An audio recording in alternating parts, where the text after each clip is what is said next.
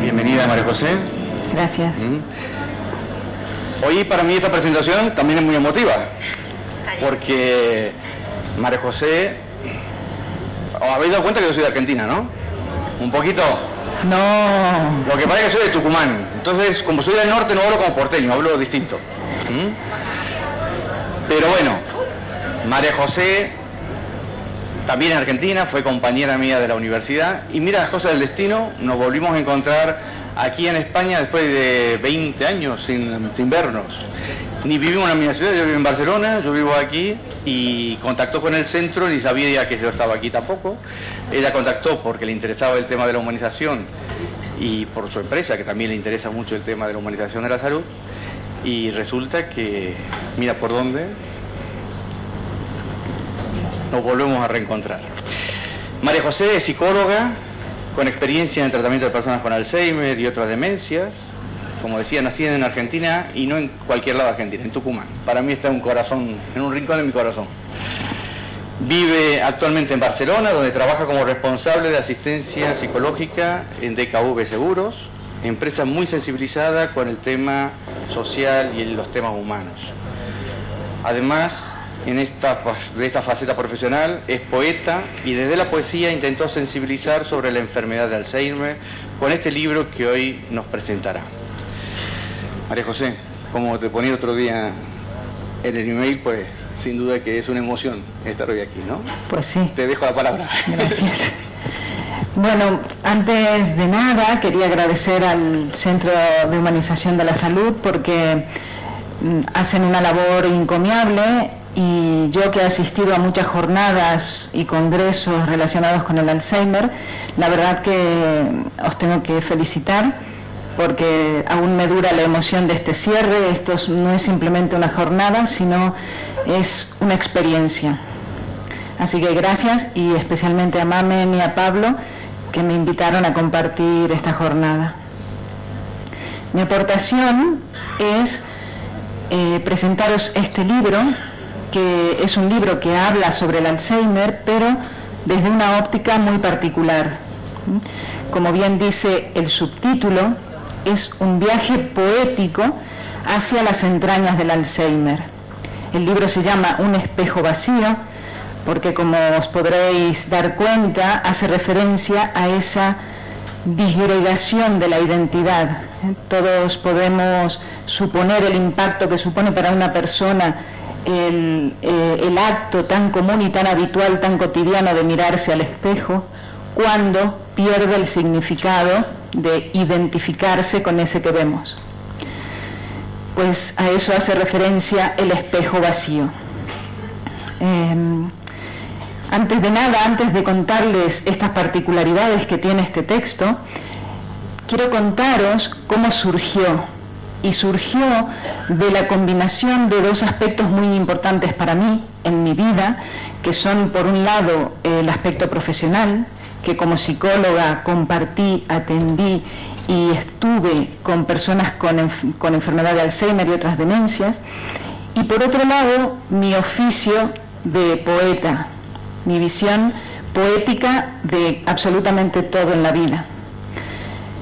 ¿Y cómo surgió esta combinación? Pues trabajando justamente con estas personas, fui testigo de escenas, de vivencias que me impactaron de tal forma que traspasaban el terreno puramente profesional, iban a ese terreno poético de mi existencia. Y de alguna manera, hablando de la memoria en el Alzheimer, me gritaban, esas escenas me gritaban que no las dejen en el olvido, que no se queden allí, olvidadas, en ese contexto tan reducido de un centro residencial. Y fue así que comencé a registrar cada una de estas escenas, registrar también lo que me hacían sentir y lo que yo imaginaba que sentían los protagonistas de esas escenas. Y así pasaron pues casi dos años de registro de estas experiencias. Y en el año 2012 decidí poner orden en todo ese material y escribir un libro. El libro no sabía bien qué estructura tendría o qué tipo de libro sería, pero sí que quería que tuviese tres condiciones. Y aquí es donde viene lo particular del libro.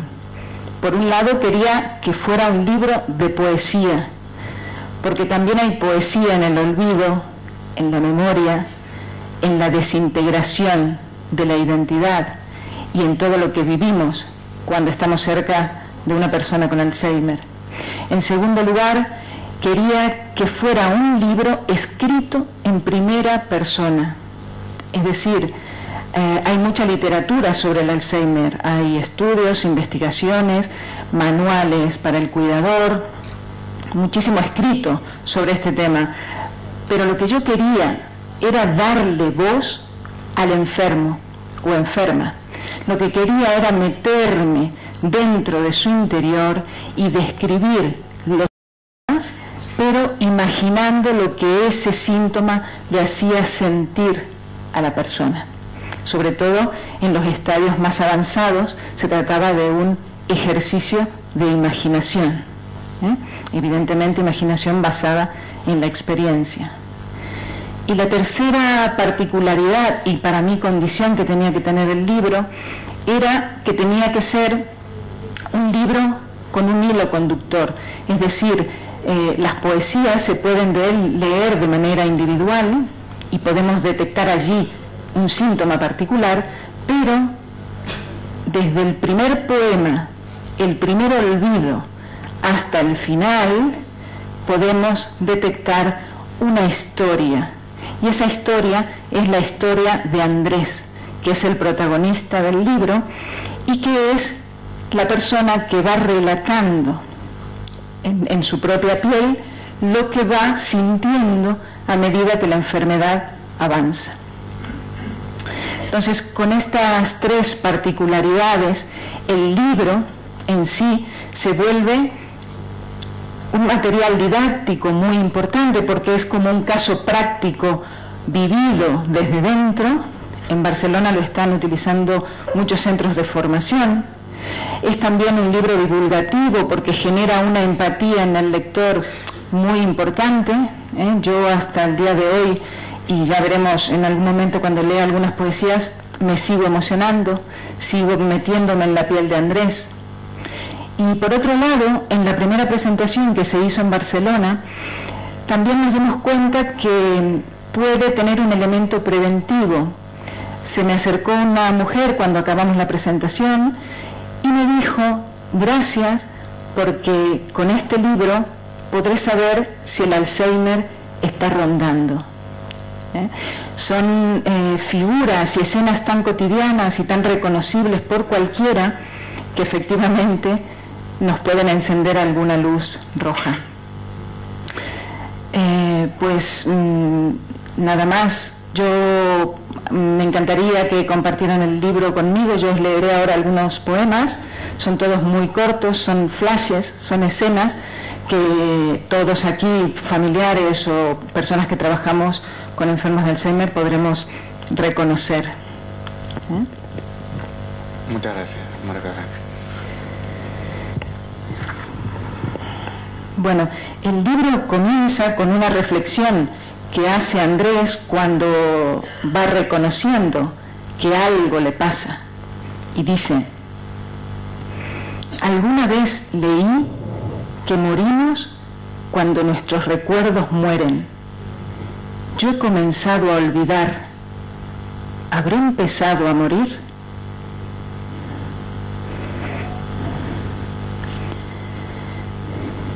Cogí el libro, como cada noche. A media página tuve que volver al principio. En la segunda línea, otra vez, al principio. Estaba cansado. Dejé el libro. La luz tenue de la lamparita fue la primera testigo.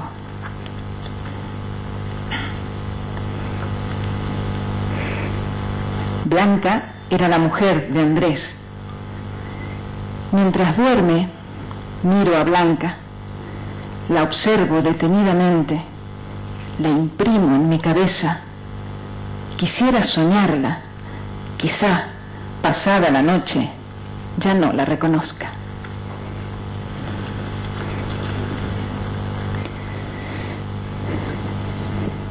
El espejo me devuelve una imagen ajena.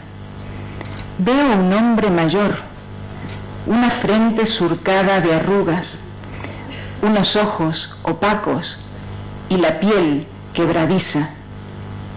Sin embargo, tengo el miedo de un niño y solo el abrazo de mi madre podría consolarme. No sé si soy el del espejo o soy el niño. Creo que resumiré un poco, ¿no? Las... Yo me voy emocionando, ¿eh?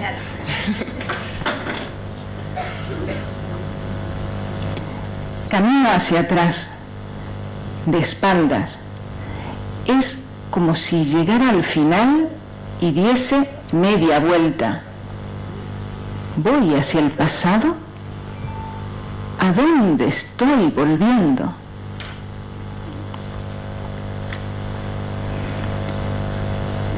El bar era el mismo, el mismo de cada mañana, el mismo desde hacía 30 años.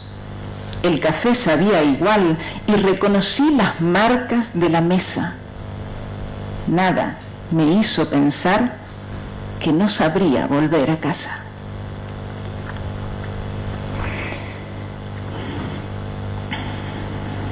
Ya he llegado, he llegado al pasado, aunque aquí no están mis recuerdos, sé que llegué porque llevo pañales. Y para acabar, algo que muchos reconoceréis, mi casa está llena de carteles, cocina, baño, armario, vasos, platos, cubiertos. Alguien debe andar perdido. Seguro es un tal Andrés. Hay un cartel con su nombre en el espejo de mi cuarto.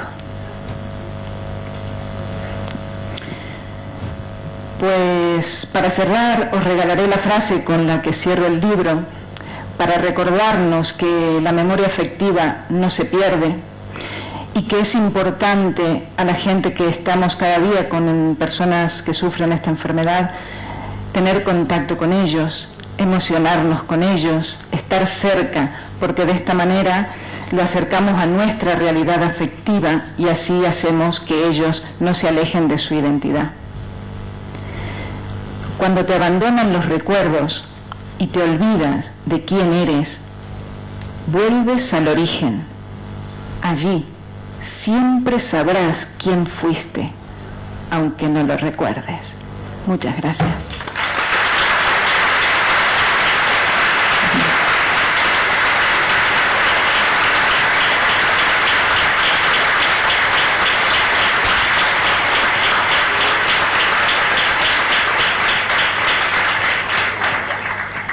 Muchas gracias, María José. Gracias a vosotros. A que tenías razón.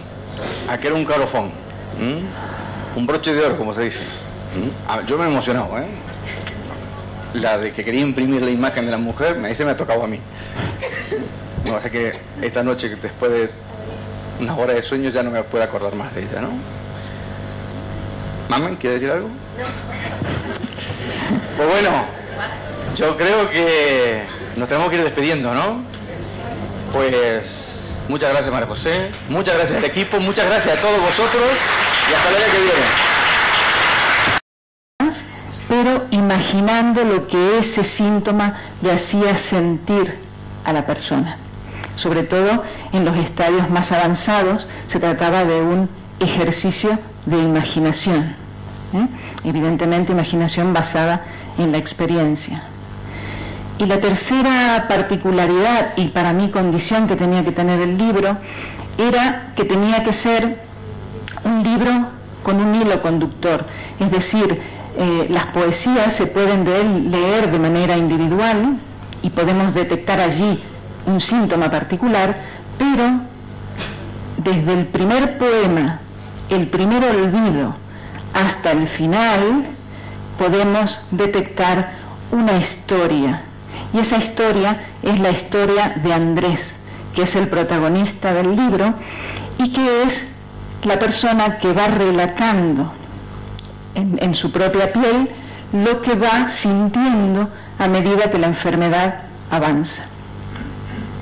Entonces, con estas tres particularidades, el libro en sí se vuelve un material didáctico muy importante porque es como un caso práctico vivido desde dentro. En Barcelona lo están utilizando muchos centros de formación. Es también un libro divulgativo porque genera una empatía en el lector muy importante.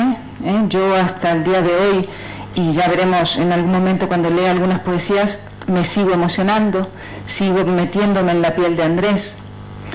Y por otro lado, en la primera presentación que se hizo en Barcelona, también nos dimos cuenta que puede tener un elemento preventivo. Se me acercó una mujer cuando acabamos la presentación y me dijo, gracias porque con este libro podré saber si el Alzheimer está rondando. ¿eh? Son eh, figuras y escenas tan cotidianas y tan reconocibles por cualquiera que efectivamente nos pueden encender alguna luz roja. Eh, pues mm, nada más, yo mm, me encantaría que compartieran el libro conmigo, yo os leeré ahora algunos poemas, son todos muy cortos, son flashes, son escenas que todos aquí, familiares o personas que trabajamos con enfermos de Alzheimer, podremos reconocer. ¿Eh? Muchas gracias, Margarita. Bueno, el libro comienza con una reflexión que hace Andrés cuando va reconociendo que algo le pasa y dice, alguna vez leí que morimos cuando nuestros recuerdos mueren. Yo he comenzado a olvidar. ¿Habré empezado a morir?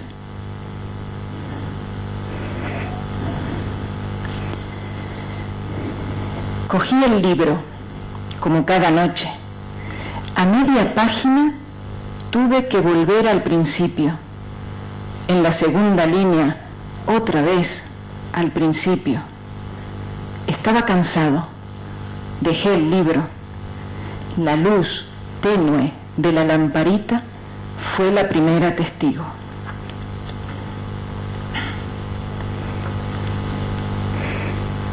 Blanca era la mujer de Andrés.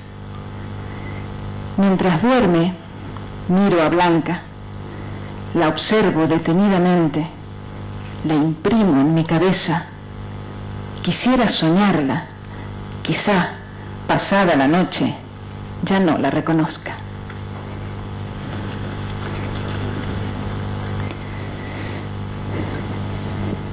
El espejo me devuelve una imagen ajena. Veo un hombre mayor, una frente surcada de arrugas, unos ojos opacos y la piel quebradiza.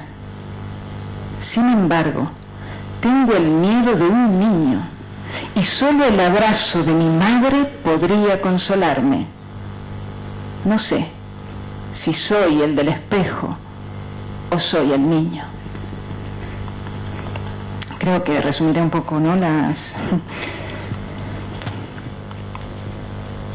Yo me voy emocionando, ¿eh?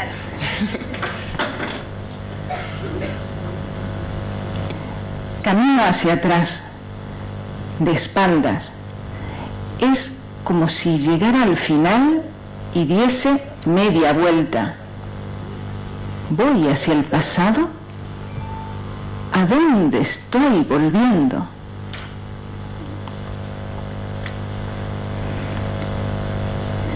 El bar era el mismo, el mismo de cada mañana, el mismo desde hacía 30 años el café sabía igual y reconocí las marcas de la mesa. Nada me hizo pensar que no sabría volver a casa.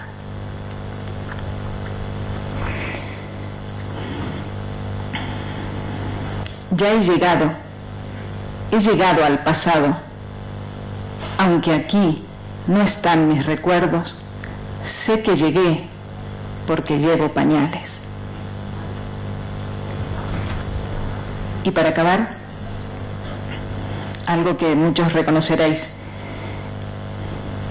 mi casa está llena de carteles, cocina, baño, armario, vasos, platos, cubiertos. Alguien debe andar perdido. Seguro es un tal Andrés. Hay un cartel con su nombre en el espejo de mi cuarto. Pues para cerrar os regalaré la frase con la que cierro el libro, para recordarnos que la memoria afectiva no se pierde y que es importante a la gente que estamos cada día con personas que sufren esta enfermedad, tener contacto con ellos, emocionarnos con ellos, estar cerca, porque de esta manera lo acercamos a nuestra realidad afectiva y así hacemos que ellos no se alejen de su identidad. Cuando te abandonan los recuerdos y te olvidas de quién eres, vuelves al origen. Allí siempre sabrás quién fuiste, aunque no lo recuerdes. Muchas gracias.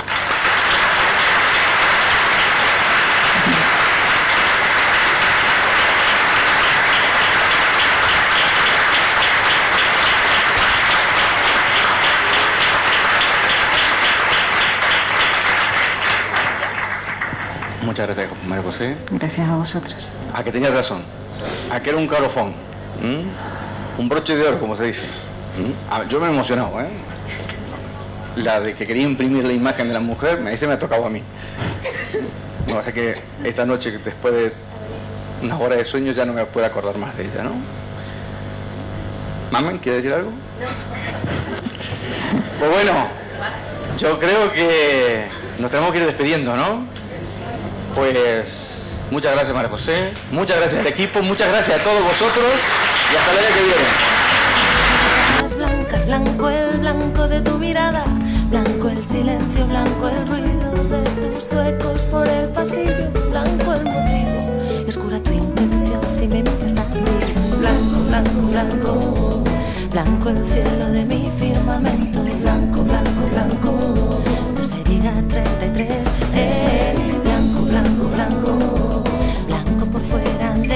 por dentro.